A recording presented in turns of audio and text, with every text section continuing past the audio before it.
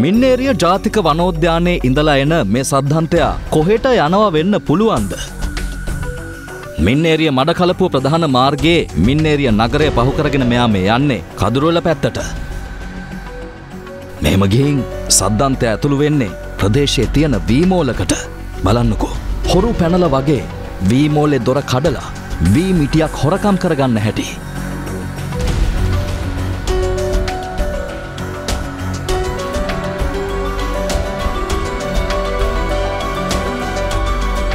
මේ අතරේ ට්‍රක්ටරයකින් ආපු වීමෝලය කෙනෙක්ට සද්ධන්ත හොරාව දැකගන්න පුළුවන් වුණා. කඩිනමින් ක්‍රියාත්මක වුණු ඔහු සූක්ෂමව සද්ධන්තයා පන්නගන්න ගත්ත උත්සාහය තමයි මේ. කොහොමහරි අන්තිමට ආපු පාර දිගේම මේ සද්ධන්තයාව එලවගන්න ට්‍රක්ටරය පදවපු පුද්ගලයා සමත් වුණා.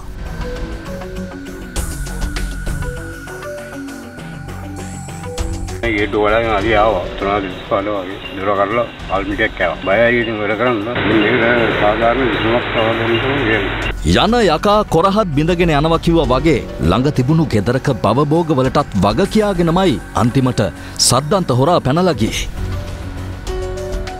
ඇවිල්ලා මේ වත් ඔක්කොම විනාශ කරලා දාලා අපේ ගේ ඇස්සෙම තමයි යන්නේ. ගේ ජනේලෙ වැදෙනකොට තමයි අපි දන්නේ අලියා කියලා. කන් දන්නේ නැහැ මිනිහෙක් මරලා දාලා ගියත් එන්නේ නැහනේ කවුරුවත් බලන්න. අලි වැට හදලා හරි මොකක් හරි කරලා ඒක ඉවරයක් කරන්න ඕනනේ. නැත්තම් මේක හැමදාටම අලි කරදරේ. මින්නේරිය වනෝද්‍යානයේ අලිවැට කඩාගෙන මාර්ගයට එන සද්දන්තයෙන් පාලනය කරලා මේ ප්‍රශ්නයට විසඳුමක් හෙව්වේ නැත්නම් වීමෝල් සහ භවභෝග විතරක් නෙමෙයි. ප්‍රදේශයේ ජනජීවිතත් තවදුරටත් අවදානම් සහගත විය හැකි බවයි ප්‍රදේශවාසීන් පවසන්නේ. सामने।